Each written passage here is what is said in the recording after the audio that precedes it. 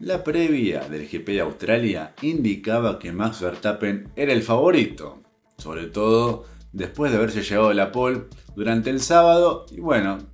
llegaba el domingo con buenas perspectivas. Sin embargo, no contaba con que George Russell, quien había partido desde la segunda posición, se adivinara de la punta de la carrera en los primeros metros y que también Lewis Hamilton, quien había alargado tercero, pasara a ser segundo, relegando a Verstappen hasta el tercer puesto. Sin embargo, eh, esta situación eh, tuvo un impas debido a la salida de pista de Charles Leclerc, quien había tenido un leve toque con Lance Stroll, abandonando el piloto de Ferrari en esa primera vuelta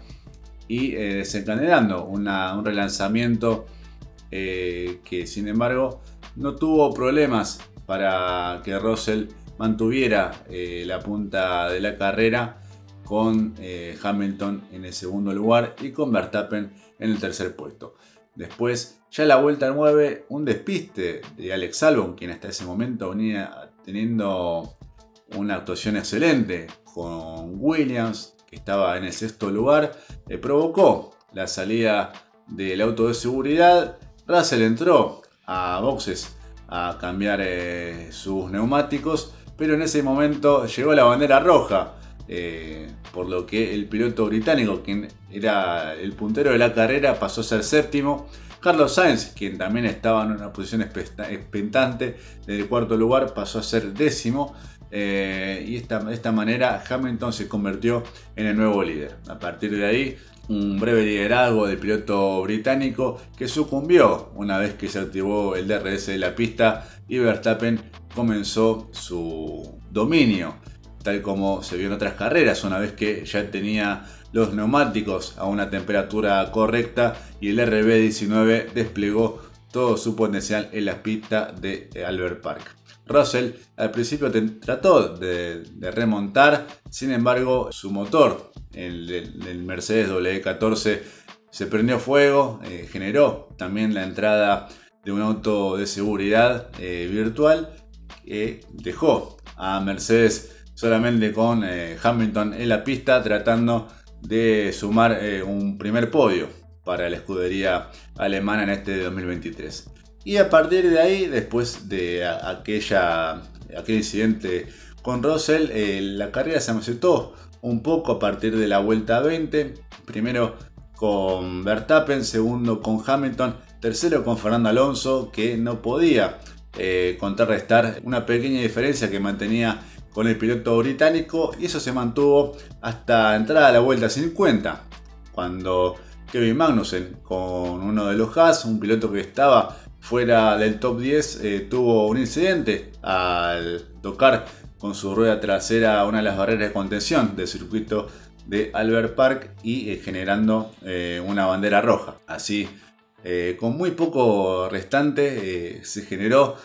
un ambiente parecido al que hubo en la definición de 2021, con un piloto que, tiene un inconveniente, se vuelve a armar una, una largada a poco del final y teniendo a Verstappen adelante y, Hamilton atrás. Bueno, más allá de que en el 2021 el que estaba adelante era Hamilton por aquellas épocas, ¿no? Eh, y bueno,